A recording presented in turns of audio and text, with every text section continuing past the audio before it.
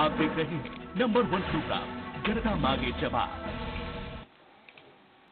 नमस्कार, स्वराज एक्सप्रेस के खास प्रोग्राम जनता मांगे जवाब में आपका स्वागत है। मैं हूँ कहते हैं इतिहास अपने आप को खुद दोहराता है। छत्तीसगढ़ में भी ऐसा ही हो रहा है। मामला गायों की मौत से जुड़ा है।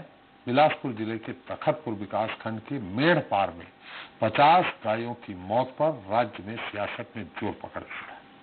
अब अगर इतिहास के पन्ने पलटे और रमन राज की बात करें तो उसमें भी दुर्ग ज़िले में सैकड़ों गायों की मौत हुई थी, जिस पर जमकर राजनीति हुई इस दौरान विपक्ष में कांग्रेस थी। वहीं अब जब बड़ी संख्या में गायों की मौत हुई है तो इस बार भी सियासत अपने शिखर पर है। मगर इस बार कांग्रेस सत्ता में है। जनता मांगे जवाब में आज हम चर्चा छत्तीसगढ़ की सियासत को गरमाने वाले इसी बड़े मुद्दे पर करेंगे। साथ ही बात होगी मध्य प्रदेश की जहाँ उपचुनाव के पहले विपक्ष में बैठी कांग्रेस को एक के बाद एक झटके लग चुके हैं। साथ ही कहा यह भी जा रहा है कि आगे चलकर पार्टी नेताओं के बीच, खासकर जो युवा दिग्गज नेता हैं, उनमें भी नाराज़गी बढ़ सकती है। दरअसल मध्य प्रदेश कांग्रेस अब पूरी तरह से नाथ में हो गई है। प्रदेश कांग्रेस कमेटी की कमान हो, या विधानसभा में नेता प्रतिपक्ष का पद, या फिर मुख्यमंत्री पद का चेहरा सबके लिए एक ही नाम है और वो है कमलनाथ। वहीं अब प्रदेश कांग्रेस के युवा नेतृत्व पर भी नाथ परिवार का कब्जा होता दिख रहा है। दरअसल छिंदवाड़ा सांसद नकुलनाथ ने उपचुनाव में युवाओं का नेतृत्व करने की बात कही। नकुलनाथ के इस बयान के कई अर्थ निकाले जा रहे हैं। साथ ही बड़ा सवाल ये उठ रहा है कि प्रदेश कांग्रेस में सारे पद एक ही नेता के पास होने से क्या पार्टी में असंतोष नहीं उठेगा? और उसमें भी अहम सवाल ये है कि क्या नकुलनाथ कांग्रेस में युवा नेतृत्व के रूप में ज्योतिष सिंधिया की भरपाई कर पाएँगे ये जानने की भी हम कोशिश करेंगे, लेकिन शुरुआत छत्तीसगढ़ के साथ करते हैं, जहाँ कसौटी पर काम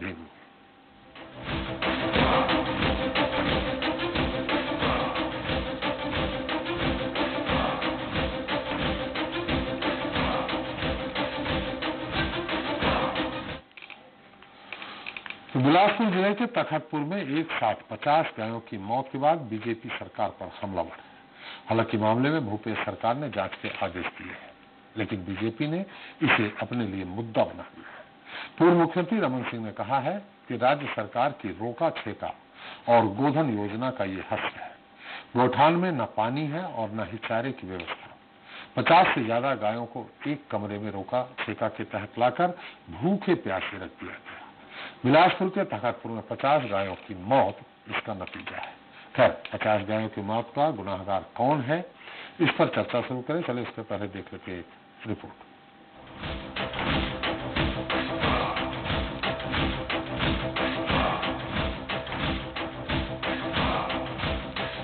बिलासपुर ज़िले के तखतपुर विकासखंड मेडपार में हुई 50 गायों की मौत पर छत्तीसगढ़ की सियासत गर्म है। प्रदेश के पूर्व मुख्यमंत्री डॉक्टर रमन सिंह ने गायों की मौत पर सरकार पर सीधे हमला बोला है। दरअसल रमन सिंह ने गायों की मौत के लिए राज्य सरकार को जिम्मेदार बताते हुए कहा है कि दम घुटने से 50 गायों की मौत हुई है। रमन सिंह ने आरोप लगाया है कि सरकार की गौठान, रोका छेका योजना, सब कागजों में चल रही है। ज़मीन पर इन योजनाओं का कोई क्रियान्वयन नहीं हो रहा। सरकार केवल योजना के नाम पर वाहवाही बटोर रही है। पूर्व मुख्यमंत्री ने ये भी कहा है कि प्रदेश में गौठान की व्यवस्था पूरी तरह से ध्वस्त हो चुकी है।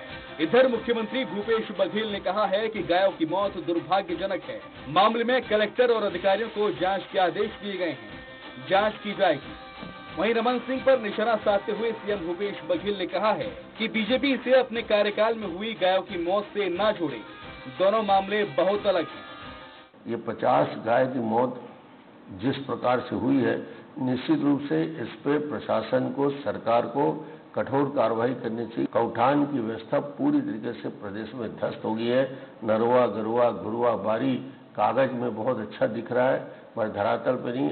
वो परिस्थिति अलग थी और आज की परिस्थिति अलग है वो गौशाला जिसको अनुदान दिया गया था हाँ उनकी मृत्यु हुई अब यहाँ एक व्यक्ति सरपंच या सचिव, ये दोनों मिल के कि एक ही कमरे में पेड़ भी सारे जानवर को और इसके कारण से स्थिति बनी है तो दोनों को एक साथ नहीं जोड़ा जा सकता। और जहाँ तक कि मुआवजा बात तो देखेंगे सियासत कब किस करवट बैठ जाए, इसका अनुमान लगाना बेहद मुश्किल होता है। कल तक जिन मुद्दों पर विपक्ष में रहते हुए कांग्रेस ने तत्कालीन बीजेपी सरकार को घेरा था, आज उन्हीं मुद्दों पर बीजेपी कांग्रेस पर हमलावर है। खैर अब देखते हैं कि छत्तीसगढ़ में गायों की मौत पर शुरू हुई सियासत में कौन किस पर भारी रहता है। स्वराज एक्सप्रेस के लिए रायपुर से आशीष तिवारी की रिपोर्ट। कि छत्तीसगढ़ में गौटान रोका छेका और गोधन न्याय योजना के बावजूद बड़ी संख्या में गायों की मौत कैसे हो गई? क्या अधिकारियों की लापरवाही के चलते सरकारी योजनाएँ सफल नहीं हो पा रही हैं या फिर कारण कोई और है? चलिए इन सवालों का जवाब जानने के लिए चर्चा शुरू करते हैं, जिसमें हमारे साथ रायपुर से जुड़ गए हैं कांग्रेस प्रवक्ता घनश्याम राजू तिवारी जी हैं। तिवारी जी, आपका बहुत स्वागत है। बीजेपी प्रवक्ता केदार गुप्ता जी हैं। गुप्ता जी, आपका स्वागत है। स्वराज एक्सप्रेस के हमारे छत्तीसगढ़ संपादक मनोज सिंह बघेल और वरिष्ठ पत्रकार भोपाल स्टूडियो के नीति जुड़ गए हैं। आप सभी का स्वागत है। पहले मनोज जी, थोड़ा सा बड़ा संक्षेप में आपसे जानना चाहेंगे। वास्तविकता क्या है और क्यों ये घटना घटी?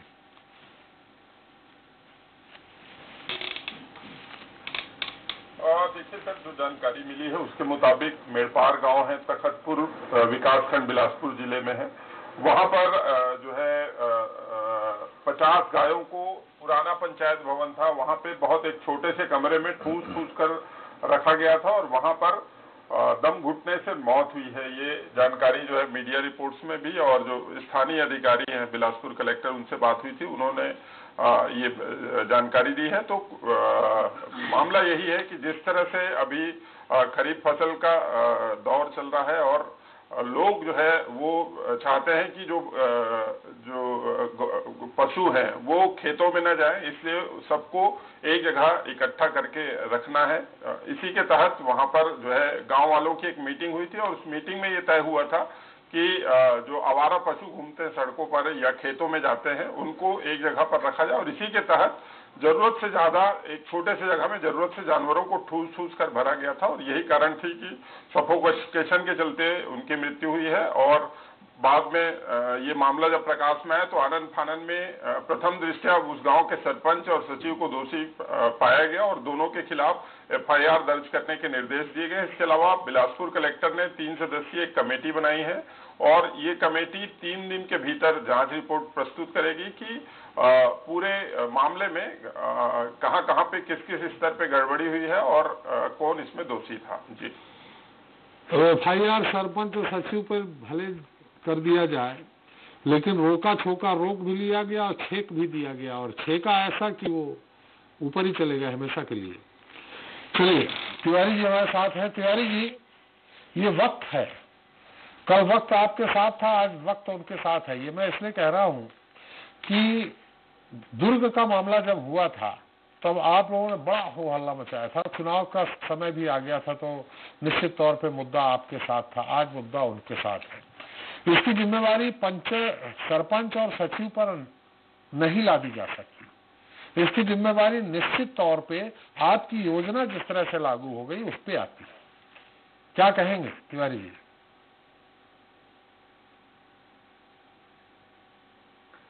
देखिए, त्रिपाठी जी निश्चित तौर पर गायों की मौत किन्हीं परिस्थितियों में हुई है, ये एक दुखद विषय है और निश्चित ही यह नहीं होना चाहिए था, लेकिन जो हुआ है, उसके लिए कहीं ना कहीं सरकार ने जिम्मेदारियों, जिम्मेदारों के ऊपर कार्रवाई भी की है और इसके जाँच के भी आदेश दिए हैं। जो एक लोकतांत्रिक रूप से चुनी हुई सरकार की जो प्रथम दृष्टिया निर्णय होते हैं उस निर्णय को सरकार ने लिया है।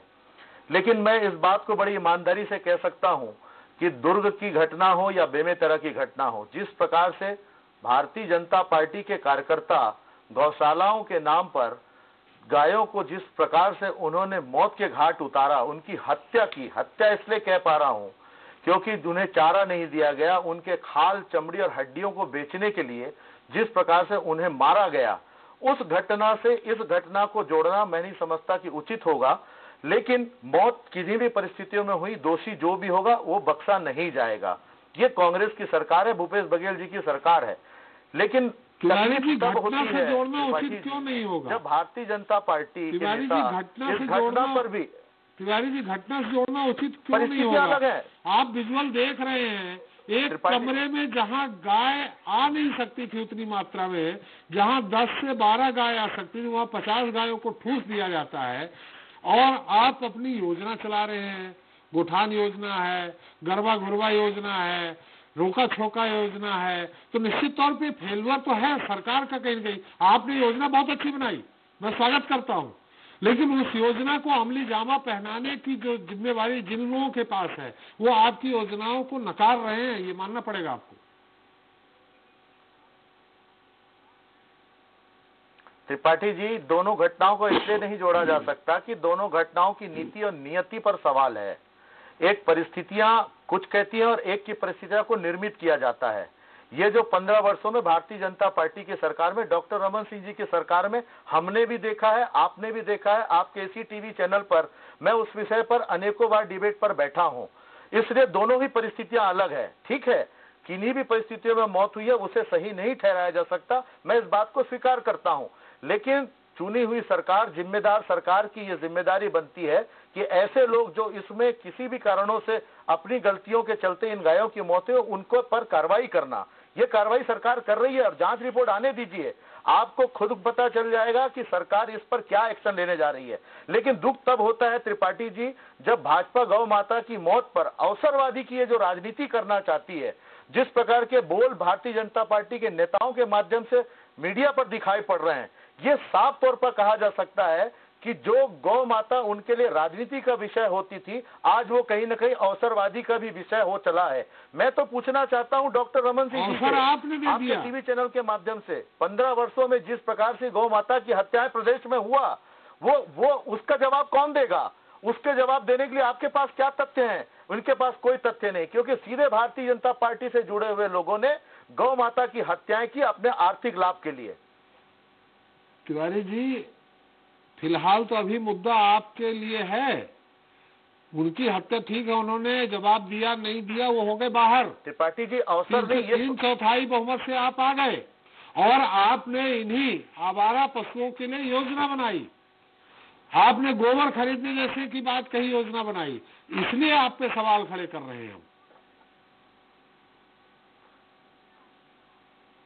नहीं आप सवाल खड़े करें। ये आपका अधिकार भी है और टीवी चैनल की ये ज़िम्मेदारी भी है। मैं इस बात को स्वीकार करता हूँ त्रिपाठी जी। जी। और उसी के तहत ही मैं आपको जवाब भी दे रहा हूँ कि चुनी हुई सरकार की जो ज़िम्मेदारी होती है घटना किसी दल से या किसी सरकार से जुड़ी नहीं होती घटना परिस्थितियों से होती है लेकिन एक घटना नीति और नियति के साथ की जाती हो जानबूझकर की जाती हो तो सवाल पैदा होते हैं। जो दुर्ग में हुआ, जो बेमेतरा में हुआ, वो जानबूझकर की गई घटना थी। अपने आर्थिक लाभों को साधने के लिए जिस प्रकार से भाजपा के कार्यकर्ताओं ने और सबसे बड़ी बात, हमने लगातार देखा है, पंद्रह वर्षों में रमन सिंह की सरकार ने भाजपा से जुड़े हुए कार्यकर्ताओं ने गौ सेवा के नाम पर अनुदान को लेकर करोड़ों लाखों रुपए का वारा नारा किया है।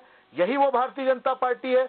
जब गौ माता की हत्या होती तो इनके मुँह में ताले लग जाते हैं। यही वो भारतीय जनता पार्टी है कि आज विपरीत परिस्थितियों में जिसकी जाँच आनी बाकी है, उस पर भी सवाल करके अवसरवादी राजनीति कर रहे हैं, गौ माता को राजनीति का हिस्सा बना रहे हैं। ये तो भारतीय जनता पार्टी की सोच है। चलिए केदार जी से पूछ लेते हैं, राजनीति में अवसर ही सब कुछ होता है। आपको अवसर मिला, आपने तीन चौथाई बहुमत से सरकार बनी, उनको अवसर मिला तो उन्होंने सरकार बना ली, अब उनको अवसर तो मिलेगा, अवसर तो आप भी बुनाते हैं, वो भी बुना रहे हैं। केदार जी, खैर, हम उसमें सवाल नहीं करेंगे। क्या कहना है आपका? मुद्दा बेमेतरा और दुर्ग से भी जोड़ते हुए अगर आपका उत्तर आएगा तो मुझे बेहतर लगेगा। राजू तिवारी जी भी संतुष्ट हो जाएँगे। देखिए बहुत दुखद विषय है कि जब एक छोटे से कमरे में सौ गायों को रखा जाता है जो। प्रथम प्रथम सूचना जब आई थी तो 50 गायों की मृत्यु की आई थी और जब बाद में सूचना आ रही तो 70 गायों से ज़्यादा की मौत की सूचना आ रही है जिसमें अनेक गायें गर्भवती भी थी। और मैं समझता हूँ कि दुर्ग और बेमेतरा की घटना जिसका ये ज़िक्र कर रहे हैं, जब भारतीय जनता पार्टी का शासन था तो वो कोई व्यक्ति हो, व्यक्ति थे जो एक गौशाला चलाते थे और वहाँ पर उन्होंने जो भी कृत्य गैर कानूनी किया, उसके लिए उनके ऊपर धारा लगी, उन्हें जेल हुई और उनके ऊपर मुकदमा दायर किया गया जो चल रहा है। परंतु जब सरकारी क्षेत्रों में, जब सरकार गाय के ऊपर फोकस करके और नरवा गरवा गुरवा बारी से लेकर गोधन योजना, गोबर खरीदने की योजना से लेकर गोठान की योजना से लेकर रोका छेका, ये चार योजनाएँ जो बता रहा हूँ। ये सरकार की महत्वपूर्ण योजनाएँ हैं, ऐसा सरकार बारंबार कहती है और रोज इनके मंत्री सैकड़ों बार कहते हैं यहाँ वहाँ घूमकर कि हम ग्रामीण अर्थव्यवस्था को मज़बूत करने के लिए इन चार योजनाओं को लेकर धरातल तक जाएँगे। अब देखिए ये ये एक घटना, और मैं कहूँगा बड़ी दुखद घटना ये कितनी सारी चीज़ों की पोल खोल रही है। कांग्रेस पार्टी के प्रवक्ता मेरे मित्र घनश्याम अगर इस बात को समझते तो शायद सरकार तक संदेश जाता कि एक रोका छेका योजना आपने बनाई कि गायों को रोका जाएगा और रोका छेका करके उन्हें कहीं फेंक के रखा जाएगा। तो वो गोठान आपने कहा कि हमने पच्चीस हज़ार गोठान बनाए हैं तो आपके पास क्या वो गोठान में रोका छेका रखने के लिए जगह नहीं थी? क्या वो गोठान आपके खराब है? जैसे भाजपा के लोग कह रहे हैं कि उसके परखच्चे उड़ चुके हैं, उसके आंधी में टीन उड़ चुके हैं, वहाँ पानी नहीं है, वहाँ चारा नहीं है, इसलिए आपने एक बंद कमरे में, छोटे कमरे में सौ गायों को रखा। दूसरी बात, नरवा गरवा गुरुआ बारी, जिसकी आप बात कर रहे हैं, वो कहाँ चला गया? इसमें जो घुरुआ है, नरवा है और गरवा है, ये तो गरवा तो गाय ही है ना, जानवर ही है, इसको कहाँ रखने की क्या व्यवस्था आपकी है? तो यह व्यवस्था, यह आपकी एक साल पुरानी योजना है। एक साल में भी आप इस योजना को यहाँ तक नहीं पहुँचा पाए। और सिर्फ़ सरपंच और सचिव पर एफआईआर आप कर देते हैं तो ये जो प्रशासनिक बड़े अधिकारी हैं, जिनके ऊपर इनकी पूरी ज़िम्मेदारी है, उन जिम्मेदारियों का जो निर्वहन नहीं कर पाए, उनसे प्रश्न, भाई, गोठान का है वहाँ का?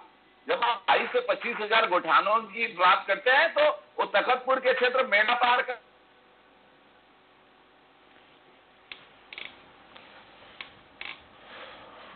जी, आवाज़ सुनाई पड़ रही है आपको? मैं जो कह रहा हूँ कि जो रोका छेका आपने कागजों में बनाया, उसके इम्प्लीमेंटेशन के लिए आपने क्या किया था? आज भी आप देखें तो कहीं पर भी रोड में आपको गाय घूमती नज़र चली आएगी, किसी गाँव में चले जाए आप तो रोका छेका फेल है। और जहाँ रोका छेका किया, वहाँ गायों को मार डाला। तो आखिर ये सरकार जो नियम योजना बना रही है, वो एक दूसरे से जुड़ी हुई है। और जब एक योजना फेल मतलब उसकी पहले की तीनों योजनाएँ फेल ये बारंबार गौ माता पे कह रहे थे, जब गोबर खरीदने की योजना है कि हम तिलक लगाते हैं, हम गौ माता की पूजा करते हैं, और ऐसी गौ माताओं को, सौ गौ माताओं को वहाँ पर ले जाकर बंद कर दिया है कमरे में, और सत्तर से ज़्यादा गौ माता है सिर्फ़ स्वास्थ्य नहीं मिली, चारा पानी की बात तो हम नहीं करते, दुख होता है। आत्मा दुखती है इस बात को लेकर। हवा और पानी के कारण अगर गौ माताएँ की मृत्यु हो गई और वो भी सरकारी जगह में और बारंबार वो दुर्ग और बेमेतरा कर रहे हैं तो क्या ये, घटनाओं को जोड़ जोड़ के जोड़ जोड़ के ऐसे अपराधों का जघन्य अपराधों का दर्द कम करना चाहते हैं ये लोग? आखिर किरार जी किरार जी आपने कहा इन चीज़ों में। किरार जी घनश्याम जी ने कहा कि नियति और नीति इस पे आप लोगों के फ़र्क है एक। दूसरा आपने कहा कि आज भी सड़कों में आवारा पशु घूमते नज़र आ जाएँगे।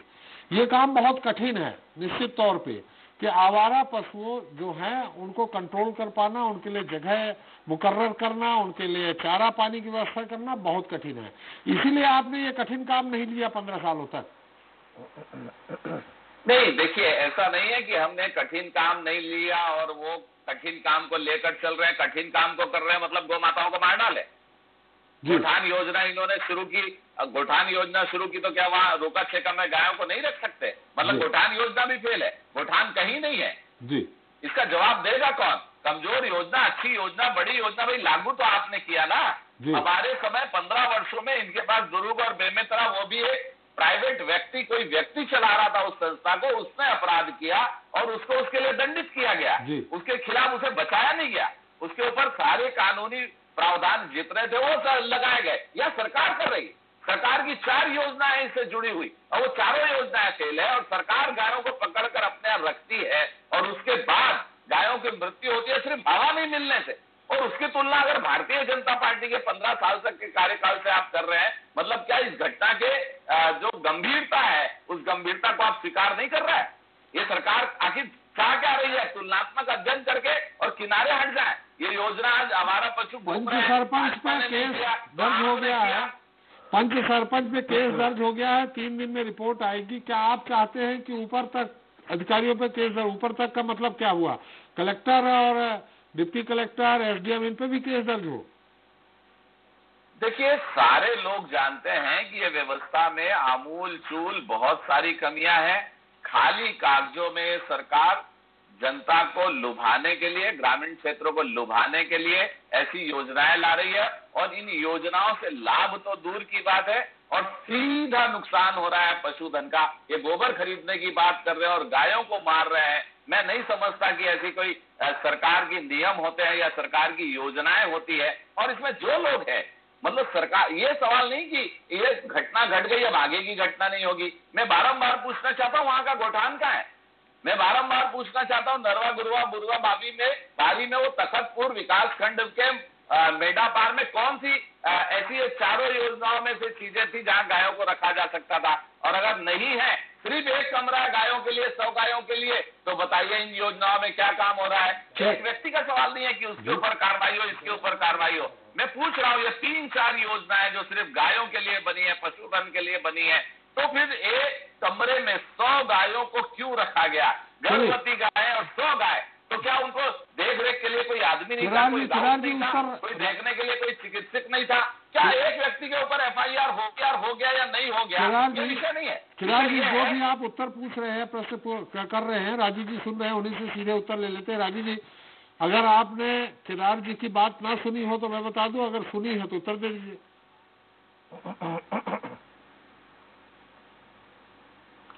मैं तो यही पूछना चाहता हूँ त्रिपाठी जी आपके माध्यम से ये गौठान की परिभाषा समझते हैं?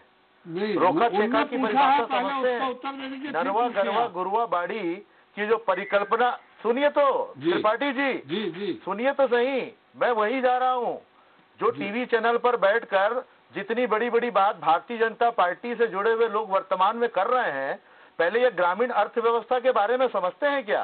पंद्रह वर्षों तक तो इन्हें गौधन की चिंता नहीं रही। पंद्रह वर्षों तक गोठानों के कभी ये लोग झांकने नहीं गए।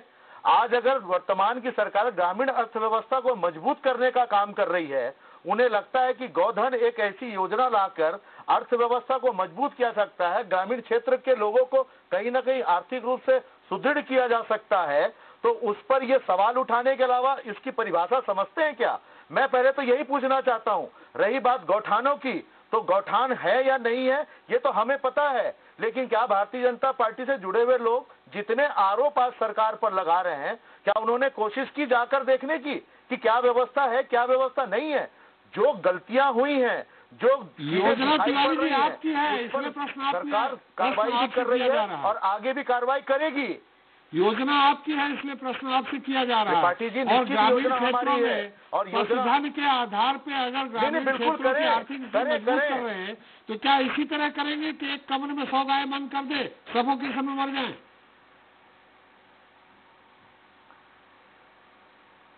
देखिए क्या होता है त्रिपाठी जी किसी भी योजना को शुरू करने के लिए जो परिस्थितियाँ परिदृश्य बनती हैं उनमें किसी प्रकार की अगर इस जो घटनाएँ हमने तखतपुर में देखी उससे सीधे जोड़कर पूरी घटनाओं को फेलवर नहीं कहा जा सकता।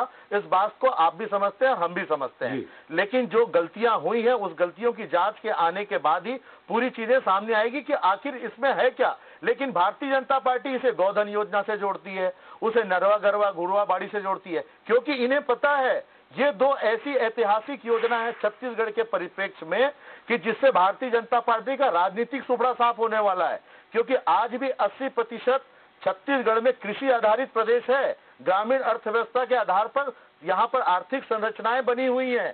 तो भारतीय जनता पार्टी कुछ भी ऐसी परिस्थितियाँ आती है, उन्हें ले जाकर गोधन योजना, उन्हें ले जाकर नरवा गरवा घुरवाबाड़ी योजना से जोड़कर कहीं न कहीं गुमराह करके प्रदेश की जनता को अपनी राजनीतिक रोटी फेंकने का प्रयास करते हैं। लेकिन मैं ईमानदारी से आपके चैनल पर यह कह सकता हूँ। भूपेश जी की बहुत महत्वाकांक्षी योजना है और महत्वाकांक्षी योजना होने के कारण ये प्रश्न उठ रहा है। नहीं नहीं वही कह रहा हूँ। जी। नहीं उठे लेकिन कहीं का कहीं जोड़ना भी तो ये उचित नहीं है। इस बात को तो समझना पड़ेगा। खैर ये भारतीय जनता पार्टी का चरित्र है कि जब सर पे दर्द होता है तो वो घुटनों का इलाज करते हैं। तो ये पंद्रह साल में तो छत्तीसगढ़ की जनता ने देख लिया। अब आने वाले समय में जिन योजनाओं का जो परिदृश्य दिखाई पड़ेगा उससे ये घबराए हुए हैं इसलिए ये कहीं का कहीं जोड़ने का प्रयास करते हैं। सभी घबराए हुए हैं। सिद्धार्थ जी आप। राजनीतिक सूत्रा आपका साफ़ होने वाला है। देखिए देखिए सीधी बात है जो इनका झूठा घोषणा पत्र था कि शराबबंदी करेंगे। शराबबंदी पर चाहिए बेरोजगारी। मैं कह रहा हूँ शराब मैं कह बंदी और बेरोजगारी पे बहुत बहस हो चुकी है। गाय पे ही आ जाए। मेरी बात तो सुन लीजिए। ग्रामीण अर्थ मैंने पूछे बात गौठान क्या है नरवा गरवा गुरवा बाड़ी क्या है? हमारे ये पूछे ना त्रिपाठी जी। क्या समझते हैं उसके बारे में केदार। जी? अब गोठान क्या गाय से संबंधित नहीं है। अब रोका छेका क्या गाय से संबंधित नहीं है। क्या नरवा गुरुआ बारी गाय से संबंधित नहीं है? अगर हम इन योजनाओं की बात करते हैं तो इनको पीड़ा होती है। और जहाँ तक गोबर खरीदने की बात है तो मैं आपके चैनल में बड़ी गंभीरता और ज़िम्मेदारी के साथ ये बात कहना चाहता हूँ। ये केंद्र सरकार की योजना है। नेशनल डेयरी डेवलपमेंट कारपोरेशन ने गाँव को सुरक्षित करके और वहाँ पर गोबर खरीद कर गोबर गैस प्लांट पंद्रह साल डाला क्यों- और पंद्रह साल क्यों नहीं कर पाए केदार जी? तिवारी जी, रमन जी को क्या नहीं पता था कि ये केंद्र की योजना है? छह साल से केंद्र में आपकी तिवारी जी उत्तर दीजिए तिवारी जी उत्तर गोबर गोबर गोबर छह महीने पहले से खरीदा जा रहा है। वहाँ पर 1400 लोगों की आबादी है जिन्हें दो घंटा तक गोबर गैस दी जा रही है। और भाजपा के कौन भाजपा शासित कौन से राज्यों में ये योजना चल रही है ये भी बता दें। डेवलपमेंट कारपोरेशन के तहत किया जा रहा है और रायपुर दुग्ध महासंघ छत्तीसगढ़ दुग्ध महासंघ ने ये कार्य किया है और नेशनल डेयरी डेवलपमेंट के अंडर में किया है। तो तो मतलब- योजना केंद्र सरकार की है।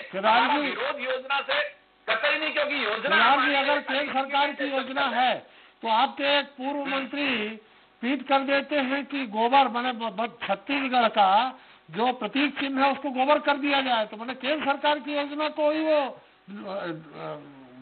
ताक पे रख रहे हैं। केंद्र सरकार की योजना को ही वो हतोत्साहित कर रहे हैं। नहीं- त्रिपाठी जी ये गलत बात है उन्होंने कहा था ये वास्तव में गोबर इतनी पवित्र चीज़ है इतनी पावन चीज़ है कि इसे योजना को क्यों नहीं लागू किया? पूछ लीजिए त्रिपाठी जी। के रूप में भी देखा जा सकता है इसका और भाजपा शासित कौन से राज्यों में ये योजना चल रही है इस परिदृश्य में? गोबर की तुलना उस चीज़ से कर रहे हैं केदार जी राजीव जी ये पूछ रहे हैं। केदार जी राजीव जी पूछ रहे हैं कि भाजपा शासित किस राज्य में योजना लागू है? और रमन सिंह अगर केंद्र की है तो रमन सिंह जी ने क्यों लागू नहीं किया था? ये राजीव जी पूछ रहे ये योजना, मैं कह रहा हूँ, ये योजना छह महीने पहले केंद्र सरकार के द्वारा लागू की गई। नेशनल डेयरी डेवलपमेंट कारपोरेशन आप वेबसाइट में जाकर देख लें, और उन्होंने प्रदेशों को एक जगह में इसका मॉडल भी बनाकर दिया और उसके लिए पैसे भी दिए, और यहाँ खरीदा भी जा रहा है। पिछले छह महीने से खरीदा जा रहा है। उसको देखकर ये योजना लॉन्च हुई और इनको करना था इसलिए इन्होंने किया। केंद्र सरकार बता की दीजिए कौन से राज्य में खरीदा जा रहा है? तथ्यात्मक बात करिए, बेबुनियादी बात को न करें। एक कमरे में बंद करके रखा जा रहा है तो गोठान कहाँ है नरवाबाड़ी कहाँ है देश की जन प्रदेश की जनता का जो पैसा इन योजनाओं में लगा हुआ है उस पैसे का हिसाब कहाँ है? सौ सौ गायों को एक कमरे में। और उसके बाद दुनिया के चरित्र की बात इसका जवाब कौन देगा? और आप अगर गोबर बेच रहे हैं तो गोठानों में जो गाय है उसका गोबर का पैसा किसके खाते में जाएगा? कहीं कोई क्लियरिटी नहीं है। खाली केदार राजनीतिक लाभ लेने के लिए जी जिस तरह से आपने कहा कि एक सामान्य उठाइए ना। एक प्राइवेट आदमी के कारण गायों की बेमतरा दुर्ग में मौत हुई थी उसी तरह अगर वहाँ के सरपंच सचिव या किसी व्यक्ति ने एक कमरे में उनको ठूस दिया कह सकते। हैं तो उसके लिए कोई मंत्री या मुख्यमंत्री या कांग्रेस की प्रवक्ता थोड़ी देखने जाएँगे भाजपा के कार्यकर्ता थे झूठ बोलने झूठ बोलना बंद करे भारतीय जनता पार्टी। सरकार की। अगर ये सरकार की योजना के तहत कोई फेल्यूर सामने आता है तो मैं पूछना चाहता हूँ कि विपक्ष की पार्टी क्या सरकार से प्रश्न ना करे? हम जाए क्या सरपंच के पास? प्राइवेट सचिव के पास? मुझे इसका जवाब कौन देगा? चलिए, तिवारी जवाब। किसी एक व्यक्ति की योजना है सरकार की योजना के लिए सरकार से प्रश्न पूछा जाएगा भाई तिवारी जी, बिल्कुल सही बात है। अगर तिवारी जी- विपक्ष प्रश्न पूछ रहा है तो विपक्ष को आप निश्चित। कमरे में मत ढकेलिए तिवारी जी, सही बात है। बिल्कुल सही बात है कि सरपंच त्रिपाठी जी, मैं इस बात को स्वीकार सरपंच करता और ग्राम सचिव को आप में- दोषी में डाल करके आप इस जो भी मुद्दा है इससे आप पीछा नहीं छुड़ा सकते एक सरपंच के ऊपर एफ़ आई आर कर दिया सचिव के ऊपर एफ़ आई आर कर दिया इस ज़िम्मेदारी से आप मुक्त नहीं हो सकते तिवारी जी नहीं नहीं, बिल्कुल ठीक कह रहे हैं केदार गुप्ता जी, इस ज़िम्मेदारी से हम मुक्त नहीं हो सकते और ना हम इस ज़िम्मेदारी से मुक्त हो रहे हैं। जाँच जाँच की रिपोर्ट आज आने दीजिए, आपको भी दिखेगा कि सरकार क्या होती है। कोई भारतीय जनता पार्टी के कार्यकर्ता जिन्होंने गौशाला में 400 गायों की हत्या की, उसे आप प्राइवेट आदमी की संज्ञा दे रहे हैं? इतना बड़ा लोहे के गेट में कमल फूल का निशान था। इसी टीवी चैनल पे हमने देखा था और पूरे देश की जनता ने देखा है। उसे आप प्राइवेट आदमी कह रहे हैं। और आप सरपंच और सचिव जो जनता से चुने हुए हैं, अगर उस पर कार्रवाई हुई है, आप उस कार्रवाई से खुश नहीं है तो जाँच की रिपोर्ट आने दीजिए। जो भी दूध का दूध है, पानी का पानी है, साफ़ के तौर पर दिखाई पड़ेगा। योजना हमारी है, ज़िम्मेदारी हमारी है, हम सरकार पर हैं, निश्चित तौर पर हम जवाब देंगे। हम अपनी ज़िम्मेदारी से भागने वाले नहीं, क्योंकि हम कांग्रेस के लोग हैं, भारतीय जनता पार्टी के कार्यकर्ता नहीं है। तिवारी जी, जब सरकार जिसकी होती है ना, जो प्राइवेट जो इस तरह अनुदान, राशि वगैरह में घपला करते हैं, आप कहो जो आपने कहा ना, लोहे के गेट में कमल का फूल, आप जाइए, हो सकता वहाँ पंजा लग गया हो। इसलिए प्राइवेट आदमी किस पार्टी का चुनाव चिन्ह लगा लेता है? दे- दिखवा दीजिएगा केदार गुप्ता जी को बोलिए त्रिपाठी जी। जी जी जी। चलिए समय कम त्रिपाठी है। जी मेरा आग्रह है केदार गुप्ता जी से कहिए कि एक बार जाकर देखें तखतपुर में क्या हो रहा है। चल केदार जी तो जाएँगे ही उंगली उठा रहे हैं बार बार जाने के लिए। केदार जी जाएँगे? देखिए निश्चित रूप से पार्टी की अपनी व्यवस्था है और चैनल में बोल देना कि आप जाओ और मैं चले जाओ पार्टी की व्यवस्था है पार्टी जो व्यवस्था होगी उसके अनुरूप हर एक कार्यकर्ता काम करेगा। ये जवाब तैयार रखें और जवाबदेही को माने कि अगर सरकार की योजना फेलवर होती है तो सरकार से ही प्रश्न पूछा पूछा जाएगा और भारतीय जनता पार्टी इसका लगातार विरोध करेगी इसका इसकी निंदा करेगी। कि एक हवा की कमी के कारण यही बात केंद्र की मोदी जी को समझाइए पचास साल से कांग्रेस की सरकार की चर्चा करते हैं आप लोग। चलिए हमारा समय समाप्त हो रहा है। अग्निहोत्री जी आपकी संक्षिप्त टिप्पणी इस पूरे राजनीति को लेकर। कि जिनकी ज़िम्मेदारी होती है उन्हें जवाब देना होता है। जी जी। नीति और नियम की बात हो रही तो बहुत अच्छी। सरकार ने कार्यक्रम बहुत अच्छा बनाया। लेकिन नियत जहाँ तक है उसका सवाल है तो ये व्यवस्था का फेलुअर है। जी। सरकार का उतना फेलुअर नहीं है जितना व्यवस्था का फेलुअर है। जी। क्योंकि जिस तरह से वहाँ पर एक पंचायत भवन के एक छोटे से कमरे में जहाँ 10 से 15 गाय ही आ सकती थी हालाँकि वो गोठान नहीं था और ना ही वहाँ पर गायों को रखने की कोई व्यवस्था थी तो वहाँ पर ज़्यादा गायों को रख दिया गया है और सरकार ने थोड़ी रखा होगा निश्चित तौर पर सरपंच नहीं जो जो जो जिनने जो, जो रोका छेका योजना के तहत जो हमारे बघेल साहब भी बता रहे हैं कि फ़सल इस समय तैयार खड़ी है और कोई किसान नहीं चाहता है कि जो आवारा पशु हैं उनके खेतों को चर करके उनको नष्ट कर दें। तो इसलिए रोका छेका योजना के तहत उनको रोका गया होगा और उनको एक भवन में रखा गया। लेकिन जो व्यवस्था की मैं फेलुअर की बात कर रहा हूँ कि जिनको रखना था उन्होंने यह नहीं देखा कि ये बेजुबान जानवर किस तरह से एक छोटे से कमरे में इतने सारे गायों को रखा जा सकता है उसका परिणाम ये सामने निकल करके आया। चलिए मनोज जी निश्चित तौर पे आप हमारी स्वराज एक्सप्रेस की टीम निश्चित बहुत खोजी है। ये जानने का ज़रूर प्रयास करिएगा कि आखिर सरपंच तो हालाँकि वहाँ दलीय आधार पे या कहीं भी सरपंच के चुनाव नहीं होते हैं लेकिन वो किस पार्टी से प्रतिबद्ध है किस पार्टी से जुड़े हैं ये चीज़ अगर आप पता करेंगे तो बहुत सारी चीज़ें सामने आ जाएँगे, आप अपने निश्चित तौर पर बिलासपुर संवाददाता से थकतपुर जाकर के ज़रूर ये जानने का प्रयास करेंगे तो शायद स्वराज एक्सप्रेस और बेहतर जनता के सामने सारी चीज़ें ला सकेगा। बहुत बहुत धन्यवाद केदार जी आपका घनश्याम जी आपका और मनोज जी आपका हमारे साथ जुड़ने के लिए। तो छत्तीसगढ़ सरकार द्वारा गौ माताओं समेत मवेशियों को रोका छेका योजना के तहत रोका छेका कर कुठानों में रखने का कार्यक्रम चलाया जा रहा है। लेकिन जिस तरह से बड़ी संख्या में गायों की मौत हुई है, उससे इस योजना पर सवाल उठ रहे हैं। जो जायज़ भी है, एक साथ पचास गायों की मौत का जिम्मेदार कौन है? ये तो जाँच के बाद पता चलेगा, लेकिन उससे पहले ये कहा जा सकता है कि गौठानों में व्यवस्थाएँ हैं और अधिकारी भी लापरवाही बरतने में पीछे नहीं है। अगर ऐसा नहीं है तो फिर पचास गायों की अकाल मौत नहीं। होती इधर मुद्दे की फिराक में बैठी बीजेपी ने